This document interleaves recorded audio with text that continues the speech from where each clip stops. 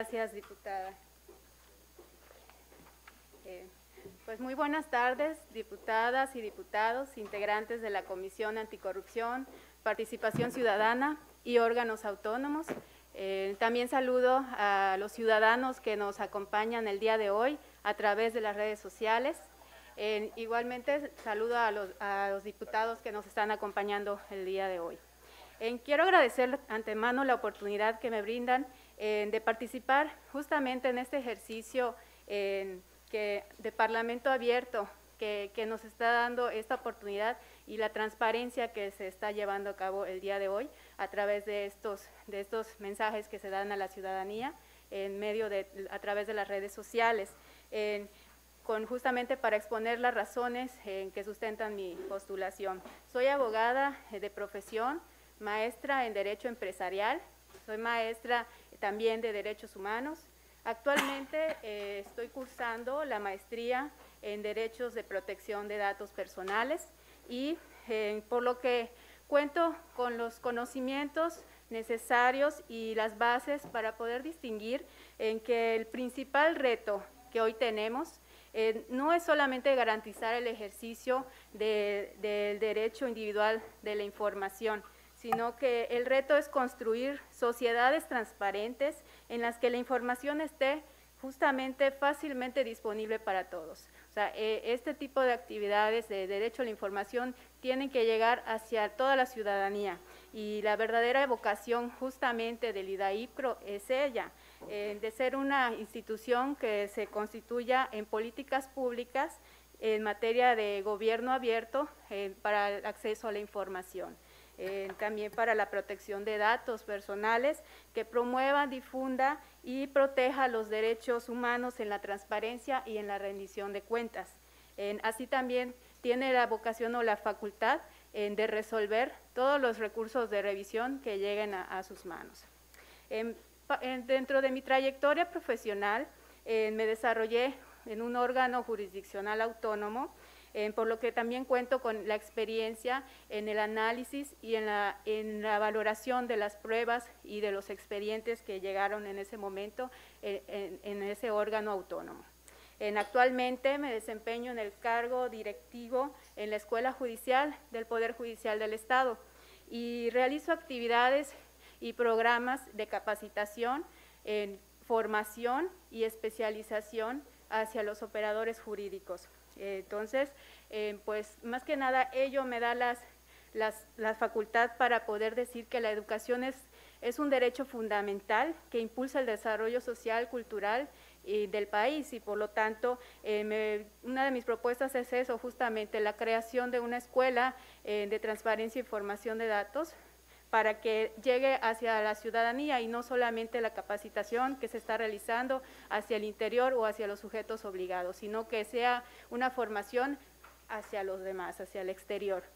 Y pues, más que nada, esa es mi, participación. Justamente considero que soy una candidata idónea eh, por los conocimientos que tengo y la trayectoria y la experiencia que, hay en mí. Muchas gracias.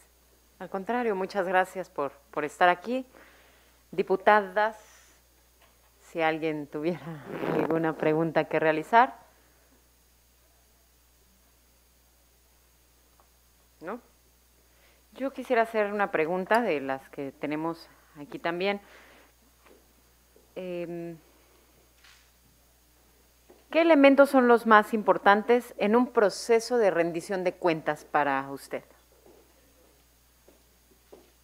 Bueno, los procesos eh, es necesario justamente que los sujetos obligados tengan esa, eh, esa obligación y esa eh, facultad para poder transmitir y publicar en todo momento en, en, las páginas, redes sociales, en sus páginas oficiales, toda la información pública, justamente para poder rendir esos, las cuentas de sus, de, de, de sus actividades y, ponerla a disposición de la ciudadanía.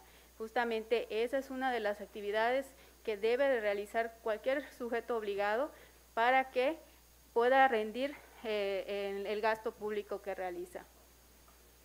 Muchas gracias. Diputada Linda Cobos, adelante.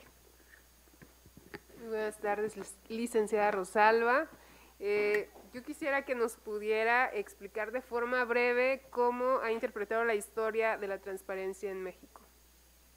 Eh, pues eh, he, estado dándole seguimiento justamente a, las reformas que han habido desde 2002, que, se generó la ley, General de Transparencia y Protección de Datos Personales, al igual que de ahí deriva, bueno, viéndonos más atrás, en, base a los tratados y tratados internacionales, que hay una obligación por parte de todos los estados, en parte, que tengan que tener dentro de su legislación justamente el tema de la transparencia, el tema de, de poder legitimar eh, es el tema del acceso a la información, al tema de los datos personales, que tengan que llegar hacia, los, hacia toda la ciudadanía y garantizar el ejercicio pleno de ese derecho. Entonces, llega un entramado jurídico desde, desde, la, desde la Convención hasta el tema de llegar a, la reforma constitucional en el artículo sexto, en el artículo 21 y posteriormente deriva eh, hasta el día de hoy que tenemos la reciente reforma el tema de la Ley General de Transparencia, que, que también da una, una, obligatoriedad a que se publiquen por parte de los poderes judiciales en la, las versiones públicas de las sentencias, que justamente también se está trabajando en el Poder Judicial para poder hacer esta, esta, esta labor. Muchas gracias por su participación. Es cuanto, diputada presidenta. Gracias, diputada Cobos. Eh, ¿Alguna pregunta más? Le agradecemos mucho su participación en esta convocatoria. Muchas gracias, con permiso. Muchas gracias. Pasamos con nuestro siguiente aspirante a ocupar el cargo